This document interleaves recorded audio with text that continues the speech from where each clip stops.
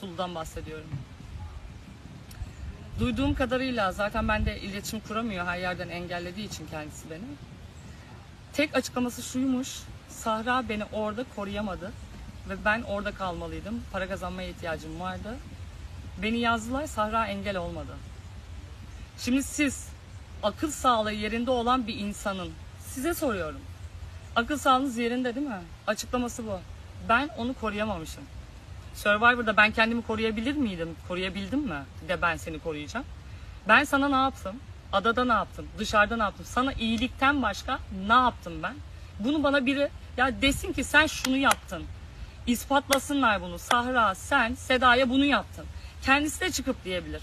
Sana iyilikten, dostluktan, kardeşlikten başka hiçbir şey yapmamışken sen dışarı çıkıyorsun ve ya beni çok seviyorsun, kardeşimsin ya, evimdesin, evimde kalıyorsun, yiyorsun, içiyorsun. İdris'i tanıyorsun, beni tanıyorsun. Beni sırtımdan bıçaklayıp yetmiyor. Hadi İdris'i aradın, bir sürü şey söyledin.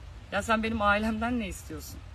Sen benim annemi babamı nasıl bu durumda benle iletişimleri yokken, ben o odadayken nasıl ithamlarda, iftiralarda bulunup benim ailemi de geçtim.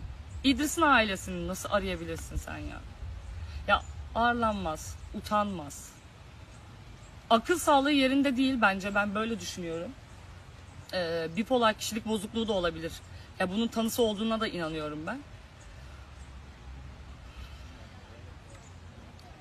Yani size bunu şimdi anlattığımda dersiniz ki yani o kadar komik ki şunu söyleyebilirsiniz ya hani böyle bir şey olamaz Sahra sen onu koruyamadın diye senin yuvanı yıkmaya